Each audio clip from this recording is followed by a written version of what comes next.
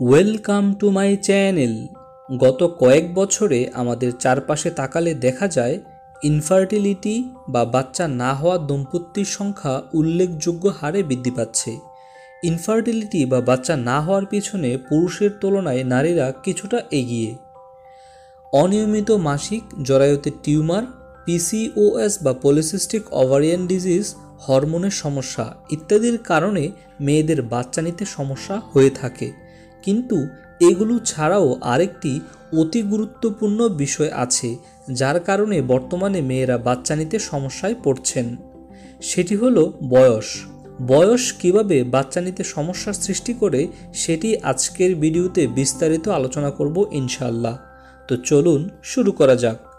তার আগে আমাদেরকে কিছু বেসিক বিষয় সম্পর্কে জানতে হবে। ছবিটি লক্ষ্য করুন।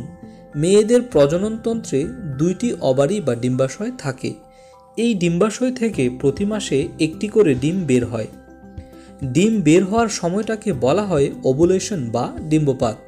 এই ওভুলেশনের সময় মিলন করলে ছেলেদের শুক্রাণুর সাথে মেয়েদের ডিম্বাণুর মিলন হয়, ফলে গর্ভধারণ হয়। তার মানে একজন নারী যদি গর্ভধারণ করতে চায়, তাহলে অবশ্যই তার ওভুলেশন বা ডিম্বপাত হতে হবে। ডিম্বাণু ছাড়া কখনোই গর্ভধারণ সম্ভব না। একজন নারীর যে বয়স থেকে মাসিক শুরু হয়, সে বয়স থেকেই কিন্তু ডিম্বপাত শুরু হয়ে যায় এবং মাসিক বন্ধ হলে ডিম্বপাত বন্ধ হয়ে যায়। এবার আমরা আমাদের মূল ভিডিওতে চলে যাই। একজন মেয়ে শিশু যখন মায়ের গর্ভে থাকে, অর্থাৎ গর্ভ অবস্থায় সাত থেকে আট মাস বয়স যখন হয়, সেই সময় শিশুর অবারিতে প্রায় ছয় মিলিয়ন প্রিমোরিয়াল ফলিকল থাকে। প্রিমোরিয়াল ফলিকলকে সহজ ভাষায় বলতে পারেন অপরিপক্ক বা সুপ্ত ডিম্বাণু। কিন্তু সেই নারী শিশু যখন পৃথিবীতে ভূমিষ্ঠ হয়, অর্থাৎ মেয়ে শিশুর বয়স যখন একদিন, তখন তার অবারিতে সেই পরিপক্ক ডিম্বাণুর সংখ্যা দাঁড়ায় মাত্র এক মিলিয়নে।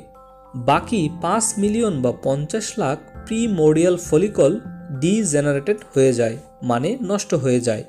কিন্তু মজার ব্যাপার হলো, যখন সে মেয়ে শিশুটি বয়সন্ধিকালে পৌঁছায় বা তার প্রথম মাসিক হয়, তখন সেই এক মিলিয়ন বা দশ লাখ প্রিমোডিয়াল ফলিকল ক্ষয় হতে হতে থাকে মাত্র তিন থেকে চার লাখে। অর্থাৎ এর সংখ্যা দিনে দিনে কমতে থাকে।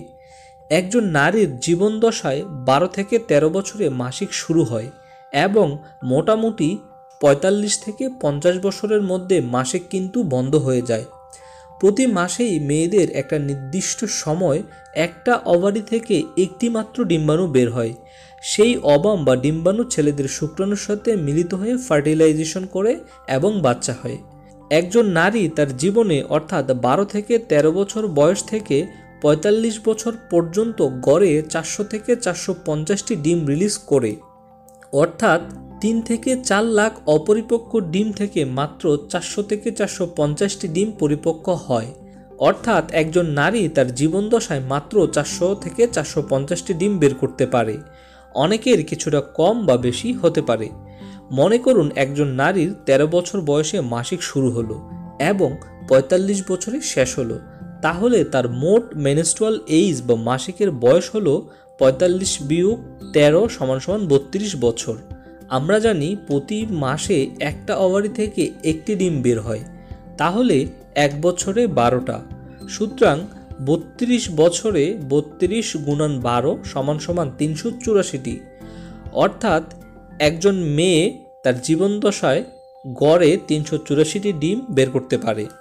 এখন একজন নারীর বয়স যখন আটাইশ কিন্তু সে বাচ্চা নেয়নি, তখন কিন্তু তার পঞ্চাশ পার্সেন্ট ডিম নষ্ট হয়ে যায়। প্রশ্ন আসতে পারে কীভাবে? ধরুন তার ১৩ বছর বয়সে মাসিক শুরু হলো। তাহলে বর্তমানে তার মিনিস্ট্রুয়াল এজ হচ্ছে আটাইশ মাইনাস তেরো সমান সমান পনেরো বছর। প্রতি বছরে বারোটি করে ডিম্বাণু বের হলে মোট বারো গুণন পনেরো সমান সমান একশো আশিটি ডিম অলরেডি বের হয়ে গেছে। তাহলে আমরা দেখেছি পঁয়তাল্লিশ বছর পর্যন্ত মাসিক হলে তার মোট ডিম বের হয় তিনশো চুরাশিটি। কিন্তু আঠাইশ বছর বয়স হতে হতে তার একশো আশিটি ডিম অলরেডি বের হয়ে গেছে। সেক্ষেত্রে তার আর মাত্র তিনশো চুরাশি থেকে একশো আশি বিয়োগ করলে দুইশো চারটি ডিম বের হবে। অনেকের কম বা বেশি হতে পারে, এটি একটি গড় হিসাব। আরেকটি গুরুত্বপূর্ণ তথ্য হচ্ছে, মেয়েদের মাসিক যখন বন্ধ হয়ে যাবে, তার কয়েক বছর আগে থেকে মেয়েদের মাসিক হলেও ওভুলেশন বা ডিম্বাণু বের হয় না।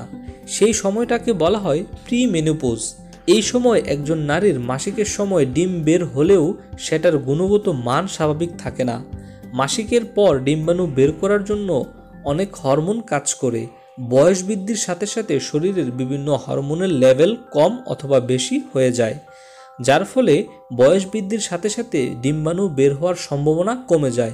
আর ডিম্বাণু কম বের হওয়ার মানেই হলো বাচ্চা হওয়ার সম্ভাবনা কম বা ইনফার্টিলিটির হার বৃদ্ধি হওয়া। বর্তমানে দেশের চিত্রটা দেখলেই বুঝবেন, দিন দিন কীভাবে বাচ্চা না হওয়ার হার বৃদ্ধি পাচ্ছে। তবে ইনফার্টিলিটি বা বন্ধাত্বের অনেক কারণ হতে পারে, এটি একটি মাত্র কারণ। অনেকেই নিজের কেরিয়ারের জন্য বিয়ে কিংবা বাচ্চা নিতে লেট করেন, এটা আসলেই উচিত নয়। আপনার প্রেগনেন্সির পাশাপাশি কেরিয়ার প্ল্যান করা উচিত, কারণ কেরিয়ারের কারণে গর্ভধারণ সম্ভাবনা কমে যেতে পারে। মনে রাখবেন, আপনার বয়স আঠাশ হলেই কিন্তু আপনার পঞ্চাশ পার্সেন্ট সুস্থ ডিম্বাণু শেষ হয়ে যাবে। সুতরাং সিদ্ধান্ত আপনার। সঠিক সিদ্ধান্ত আপনার আগামীর জীবনকে করতে পারে সুন্দর ও সুখীময়। আশা করি ভিডিওটি সামান্য হলেও উপকারে আসবে। যদি পারতাম, এই ভিডিওটা আমি সবাইকে দেখাতাম। ভিডিওটি উপকারী মনে হলে বন্ধুদের সাথে শেয়ার করতে পারেন। এছাড়া আপনাদের কোনো কিছু জানার থাকলে আমাদের সাথে সরাসরি কথা বলতে পারেন আমাদের ফেসবুক পেজে stay with us healthy and safely thank you for watching this video